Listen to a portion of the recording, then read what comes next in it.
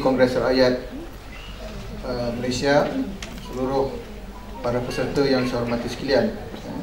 Saya ada 8 minit jadi saya akan cuba manfaatkan apa yang uh, dapat kita bincangkan bersama pada pagi ini.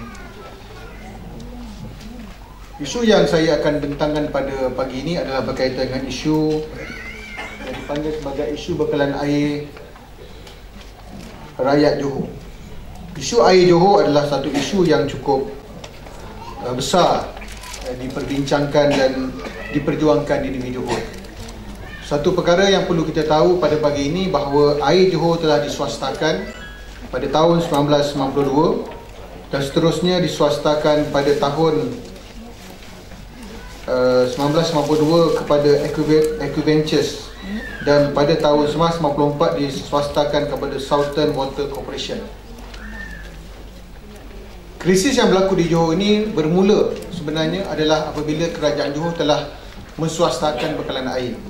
Walaupun kita lihat banyak isu dibentangkan isu air dia akan sentuh di Kelantan. Eh, air kotor di Kelantan, Kelantan dan Kelantan. Tetapi sebenarnya kita di Johor berhadapan dengan isu air yang berpanjangan. Perjuangan isu air di Johor telah dilaksanakan oleh pelbagai NGO, badan bertindak termasuk Eh, bekalan air Johor telah diperjuangkan sendiri oleh bekas-bekas pekerja Jabatan Air Johor pada peringkat awal kerana membantah perswastaan air Johor. Pembantah, bantahan air Johor ini berlaku kerana air Johor dilihat air Johor yang sepatutnya dibekalkan dengan kadar yang sangat murah kepada rakyat akhirnya menjadi satu bebanan kepada rakyat dan juga kepada kerajaan negeri Johor apabila kerajaan Johor terpaksa menanggung hutang sehingga 1.1 1.10 bilion kepada kerajaan pusat pada satu masa dahulu kerana terpaksa menanggung kos hutang air yang cukup besar kepada kepada kerajaan pusat. Slide seterusnya. Krisis ataupun uh, krisis air ini berpunca yang pertamanya daripada sungai Johor yang kerap tercemar. Seterusnya. Johor ini kita beruntung. Walaupun kita tidak seperti negara-negara seperti Terengganu. Kalau tuan-tuan pergi ke Terengganu Tuan-tuan akan melihat betapa eh, bersihnya air kenyir Air empangan kenyir Yang boleh kita boleh minum dalam empangan itu sendiri. Tetapi tuan-tuan tidak akan rela dan bersedia Untuk minum air-air daripada empangan Kalau tuan-tuan pergi ke empangan seperti empangan semberung Antara empangan yang terkotor di, di Johor ini dan mungkin di Malaysia adalah empangan semberung.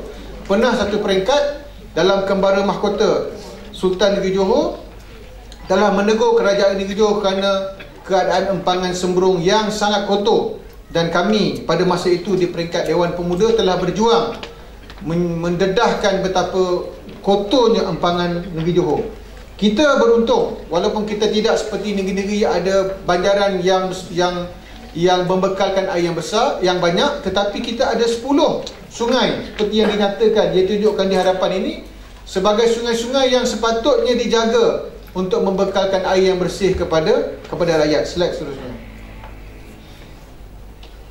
2 April 2015 Laporan daripada Akbar 2500 pengguna air bekalan bersih daripada loji rawatan air Sungai Johor dan Semanga bakal terjejas ekoran berlakunya tumpahan minyak diesel di, di Sungai Johor.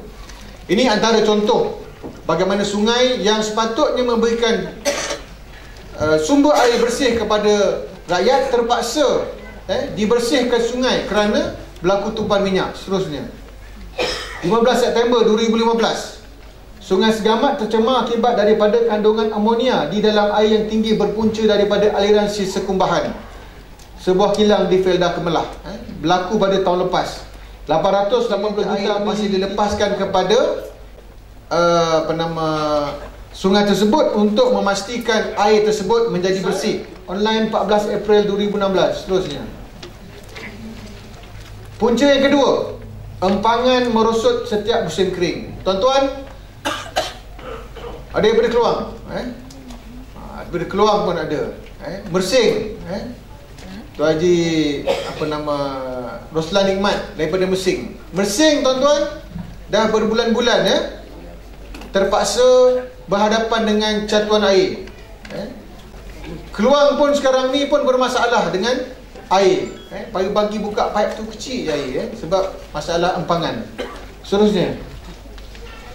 Pengurusi Jatuh Kuasa Kerja Kemajuan Luar Bandar dan Wilayah Negeri Datuk I.R. Hasni Muhammad eh, disebut bahawa ada uh, 15 empangan yang membekalkan air mentah dan mempunyai kapasiti 1700 juta mililiter sehari untuk 44 loji seluruh negeri, negeri Johor kini berada pada tahap kritikal dan hanya mampu bertahan bagi tempoh 3 bulan. Ini bulan April. Sebab itu kita melihat pada akhir tahun lepas sekitar bandar Johor Bahru eh, empangan-empangan yang membekalkan air kepada uh, Uh, dibekal dan untuk bekalan kepada rakyat negeri Johor terpaksa berdepan dengan masalah kekurangan air seterusnya. Masalah percubaan haram dan kemusnahan kawasan tadahan air. Eh tuan-tuan kalau pergi ke Semberong saya ada eh di kawasan Semberong empangan Semberong sebagai contohnya antara empangan so, yang Faizi boleh kurut boleh cepatkan. Okey tadi dengan fakta. eh, dua contoh empangan yang yang selalu ada terdapat percuma haram adalah empangan semberung dan empangan macap seterusnya. Okey, ini sebagai contoh masalah gangguan air yang berlaku di Johor Bahru, Kota Tinggi dan Mersing eh, yang disiarkan dalam media eh, seterusnya.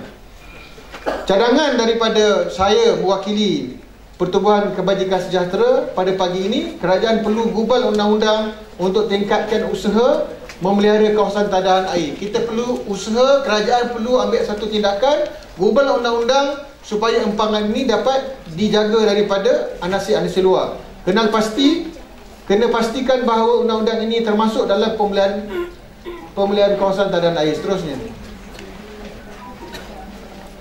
Walaupun dalam kajian negeri Johor, Dewan Undang ini telah pun bersidang, telah meluluskan satu akta dia panggil enactment air 1921 tetapi penguasaan kepada empangan masih kita ragui seterusnya. Dan yang terakhir yang kedua adalah berkaitan dengan tarif air Johor yang tinggi. Tarif air Johor paling tinggi di Malaysia eh? tarif air Johor adalah yang paling tinggi di Malaysia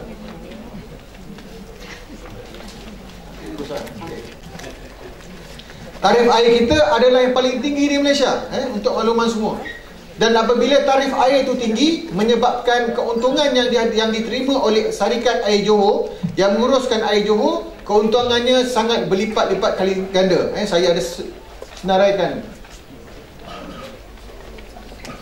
ha, yang ujung tu eh keuntungan-keuntungan Syarikat Air Johor yang uh, lebih daripada 70 juta setahun eh jadi cadangan yang saya utarakan pada pagi, pada pagi ini keuntungan yang yang diterima oleh SAJ lebih daripada satu had yang ditetapkan. Kita tetapkan satu had, katalah 6% ataupun 7% ataupun 8%. Yang penting selepas had yang kita tetapkan pada kongres kita pada hari ini, kita sampaikan kepada Kali Johor, keuntungan yang berlebihan ini kita serahkan kepada urusan kerajaan negeri Johor untuk membersihkan empangan yang pada hari ini semakin kotor dan juga penguatkuasaan kepada sungai-sungai yang semakin tercemar.